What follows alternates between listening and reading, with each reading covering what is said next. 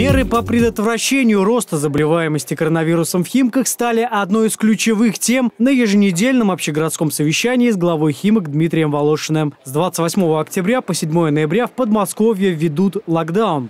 Согласно постановлению губернатора, на полторы недели закрываются места массового скопления людей. Торговые центры, кафе, рестораны, кинотеатры, фитнес-залы, бассейны, парикмахерские. Исключения составляют музеи и театры. Посещение театров и музеев допускается со следующими ограничениями.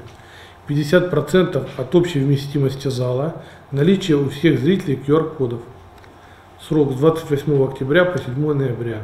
Жители старше 60 лет не смогут воспользоваться социальными транспортными картами. Их заблокируют, если пенсионер не вакцинировался от коронавирусной инфекции или недавно не переболел. Кроме этого, в общественном транспорте усилят контроль по соблюдению масочного режима. При этом в автобусах и троллейбусах работники транспортных компаний продолжают проводить регулярную дезинфекцию. Она делается в полном, в полном объеме перед выпуском средств на линию и также дважды в течение дня после утреннего часа пик и перед вечерним часом пик.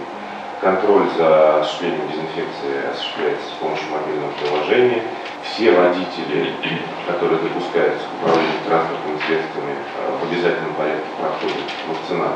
По словам Ирины Теслевой, в Химках вакцинировались 65,5% взрослого населения. Вакцинируют от коронавируса и гриппа в 9 поликлиниках округа. Продолжают работать мобильные пункты в ТЦ «Мега» и в клубе «Активное долголетие». Также работают мобильные бригады, которые выезжают на предприятия. Недостатка в вакцинах нет, а вот количество мест в больницах для тяжелобольных коронавирусом стремительно снижается. Из 680 коек занято 90%. Бригады скорой помощи максимально загружены.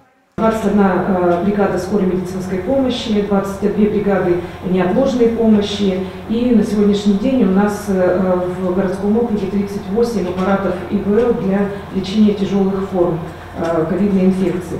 Количество вызовов скорая помощь дает на выходные дни значительный рост по пневмонии вызовы, поэтому ситуация не улучшается. Традиционно на совещании обсудили жалобы горожан на портале «Добродел». За минувшую неделю горожане сетовали на неубранную листву, однако на мусор в дворах благодаря реагированию коммунальщиков жаловаться стали меньше. Практически исчезли жалобы на отопление.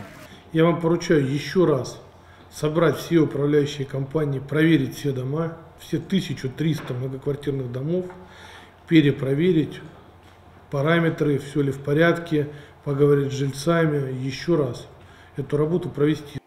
Об успехах в экономическом блоке рассказал заместитель главы Химок Родион Левочка. Он подвел промежуточные итоги программы «Химкинский резидент». Благодаря ей за 9 месяцев в Химках удалось более 700 организаций поставить на налоговый учет. Благодаря этому бюджет Химок пополнился на 43 миллиона рублей и бюджет Московской области на 410 миллионов рублей в третьем квартале.